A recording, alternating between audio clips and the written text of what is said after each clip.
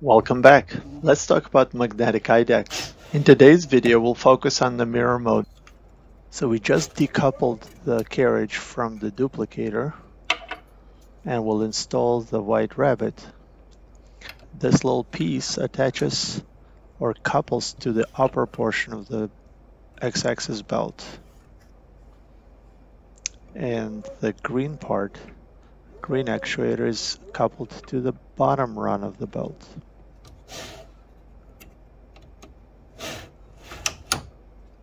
And then this is where the magic happens.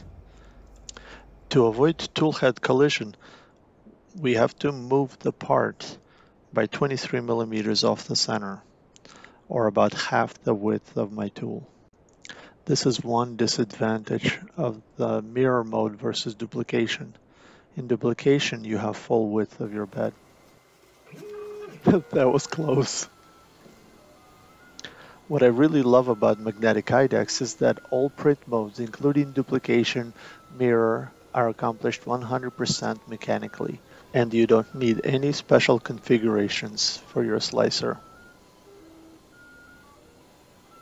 While it is printing the low poly golden retriever, let me tell you about the white rabbit. I printed the mirror coupling using white glass fiber filled ABS. This filament has improved toughness and heat resistance because it's filled with long glass fibers. This material is much less expensive than carbon fiber filled ABS or other name brand glass fiber ABS.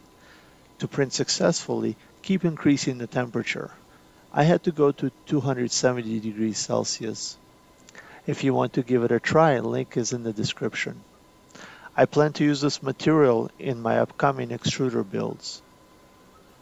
If you find this design interesting, please like, share, and subscribe for more Magnetic IDEX videos. Thank you.